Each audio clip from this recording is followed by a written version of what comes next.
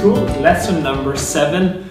Today we speak about idioms of to be. Oggi parliamo di eh, espressioni idiomatiche legate al verbo essere. Eh, cosa vuol dire espressioni idiomatiche? Eh, sono espressioni fisse ehm, che eh, riguardano ancora il verbo essere. Prometto che questa è l'ultima lezione eh, essere e poi passiamo finalmente a parlare del primo step che vi avevo promesso nella spiegazione, nell'introduzione a questo corso di inglese.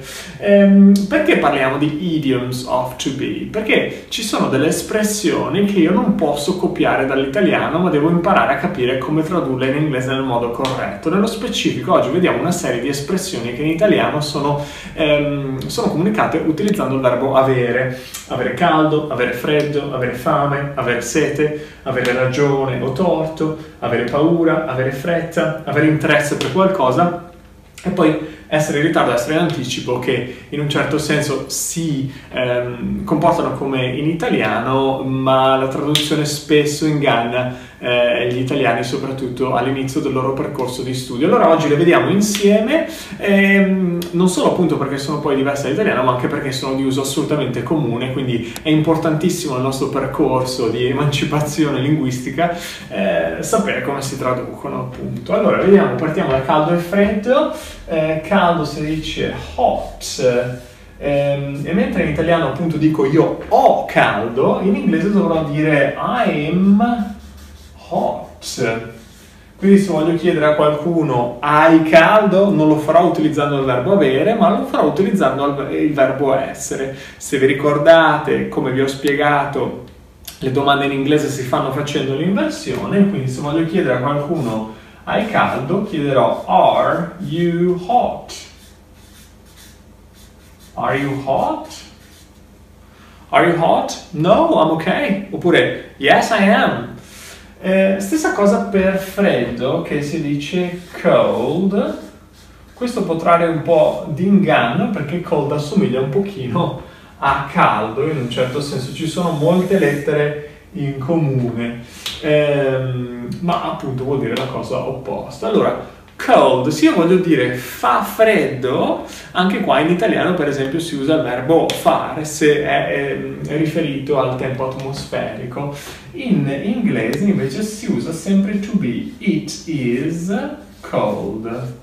Chiaramente l'espressione fa freddo è un'espressione impersonale, non c'è un soggetto vero e proprio, mentre eh, in, in, inglese laddove il soggetto invece abbiamo visto è obbligatorio vado a metterci it, che come vi avevo spiegato serve per cose animali ma anche per le forme impersonali. Quindi it is cold, eh, fa freddo. Se voglio trasformarla in una domanda faccio l'inversione e dico is it cold? Is it cold? No, it isn't, oppure yes, it is. Uh, fame e sete, obbligatorio per chi viaggia eh, sapere come tradurre queste espressioni. Allora, avere fame si dice to be hungry. H-U-G-R-Y, hungry. Uh, quindi se io voglio dire noi abbiamo fame, lo dovrò fare utilizzando il verbo essere. E quindi we are hungry abbiamo fame, we are hungry. Eh, sete, eh, voi avete sete, per esempio, se io voglio chiedere ai miei ospiti avete sete, eh, l'aggettivo è thirsty, thirsty, e chiederò are you thirsty? Are you thirsty? Benissimo. Eh, poi Altro, altra coppia di opposti, avere ragione, avere torto. Eh, avere ragione si dice to be, mi raccomando, sempre to be, quindi non avere, ma to be, to be right. Quindi se voglio dire, eh, secondo me lui ha ragione, dirò in my opinion, secondo me, in my opinion, he, lui, is, non avere ma essere, he is right. Ok? He is right. Eh, il contrario, avere torto, si dice sempre con to be, to be wrong. Ok? To be wrong. Eh, quindi se io voglio chiedere a qualcuno eh, mi sbaglio, ho torto, voglio fare una domanda in prima persona singolare, eh, dico am I wrong? Am I wrong? Benissimo. Oppure se voglio dire loro hanno torto, loro si sbagliano, dico they are wrong. Ok. Passiamo alla paura. Avere paura si dice to be afraid of something. To be afraid. Si può anche dire to be scared. E la preposizione che ci va dietro è of. To be afraid oppure to be scared of something. Quindi se io voglio dire che ho paura eh, dei ragni, un classico dico I am, in italiano io ho, ma in inglese I am, è per questo che facciamo questo esercizio oggi, I am afraid of spiders. I am afraid of spiders. Passiamo alla fretta anche qua in italiano dico ho fretta, avere fretta, ho fretta, ma in inglese è to be.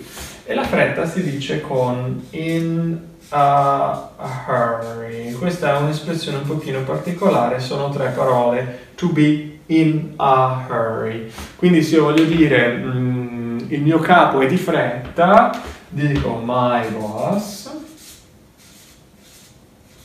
A fretta is, uso il verbo essere in inglese, in a hurry. My boss is in a hurry. Ok, ho interesse per qualcosa, sono interessato a qualcosa, mi interessa qualcosa, in inglese si dice to be interested. Interested. To be interested. La preposizione che gli va dietro è in. Ve lo dico perché eh, sono binomi che non posso disgiungere. Interested va sempre seguito dalla preposizione in. Per esempio, ci interessa lo sport, siamo interessati allo sport, abbiamo interesse per lo sport, chi, noi, quindi we, verbo essere are interested in sport. We are interested in sport.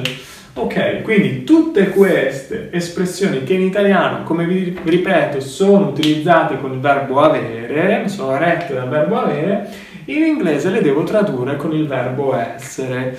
E non c'è un pro- una vera e propria spiegazione, semplicemente che la lingua inglese le esprime in questo modo. Possiamo dire che culturalmente l'inglese è una lingua un pochino più dritta della nostra e che mh, mm, eh, l'inglese difficilmente dirà avere o se non è qualcosa che posso mostrare. Quindi queste fanno parte del mio stato di essere, non di quello che ho in tasca in un certo senso, caldo, freddo, fame, eccetera. Vediamo anche le ultime due che come vi dicevo in un certo senso si discostano perché anche in italiano vengono utilizzate con il verbo essere, vediamo come si dice. Essere in ritardo si dice to be late, non to be in late, come tanti dei miei studenti all'inizio erroneamente dicono. Quindi, per esempio, se voglio chiedere a qualcuno perché sei in ritardo, dico why are you late? Quindi mi raccomando, non in late, ma semplicemente late. E l'opposto in anticipo è early.